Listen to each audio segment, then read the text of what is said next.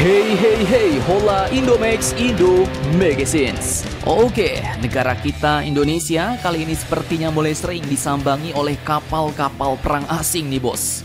Setelah kemarin kapal selam kilo kelas asal India yang tiba-tiba muncul di Jakarta, kali ini dua buah kapal perang asal negara Sinto-Sinto Jepang pun kabarnya juga bakal masuk ke Indonesia. Tapi bukan ke Jakarta bos, kapal-kapal perang Jepang ini pun akan masuk ke wilayah Sulawesi.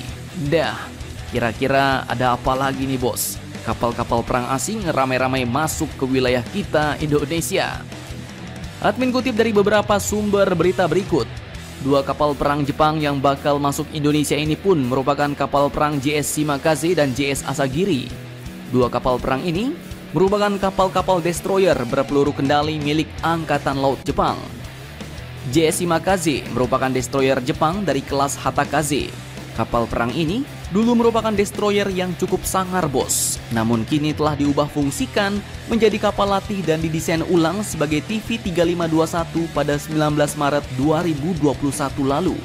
Sedangkan JS Asagiri sendiri merupakan destroyer dari kelas Asagiri yang dilengkapi dengan peralatan untuk misi tempur dan intersepsi dan terutama dipersenjatai dengan senjata anti kapal bos. Kapal perang ini pun membawa dua sistem peluncuran rudal berpemandu MK141 GMLS yang merupakan sistem rudal anti kapal.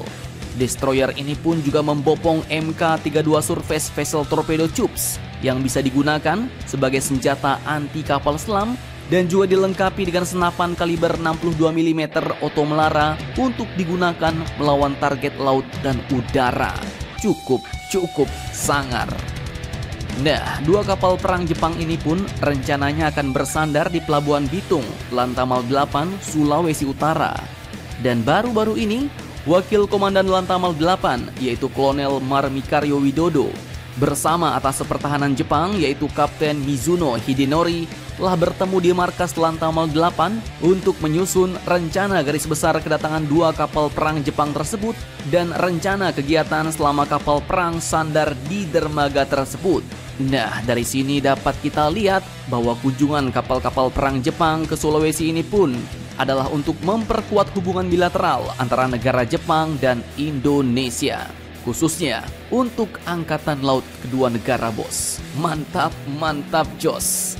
Semoga Angkatan Laut Jepang dan Indonesia dapat semakin akrab ya bos. Amin. Jadi bagaimana menurut kalian? Jangan lupa komentar, tetaplah kalian barbar dan jangan santuy terus. Demi Indonesia maju, salam Indomax Indo.